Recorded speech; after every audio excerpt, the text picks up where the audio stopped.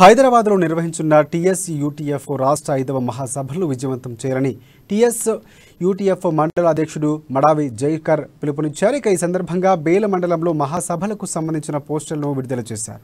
విద్యా వ్యవస్థలపై కేంద్ర రాష్ట్ర ప్రభుత్వాలు అవలంబిస్తున్న తీరును ఈ సభలో ఎండగట్టాలని సూచించారు. వీటితో పాటు సిపిఎస్ని వెంటనే రద్దు చేయాలని పాత పెన్షన్ విధానాన్ని యథావిధిగా కొనసాగించాలని ఈ సందర్భంగా డిమాండ్ చేశారు.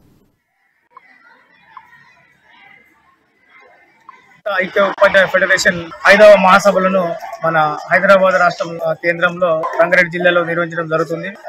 అయితే ఈరోజు గౌరవ ప్రధానోపాధ్యాయుల మీదుగా ఈ పోస్టులను ఆవిష్కరించడం జరిగింది. మరి ఈ కార్యక్రమానికి రాష్ట్ర విద్యాశాఖ మంత్రి అదేవిధంగా ఇతర జిల్లాల నుంచి కూడా అనేక మేధావులు మరి విద్యావేత్తలు ఉపాధ్యాయ సంఘ నాయకులు అందరూ కూడా రావడం జరుగుతుంది. పదమూడు పద్నాలుగో తారీఖున జరిగే ఈ యొక్క ఐదవ మహారాష్ట్ర మహాసభలకు అందరూ వచ్చేసి విజయవంతం చేయాలని కోరుతున్నాం.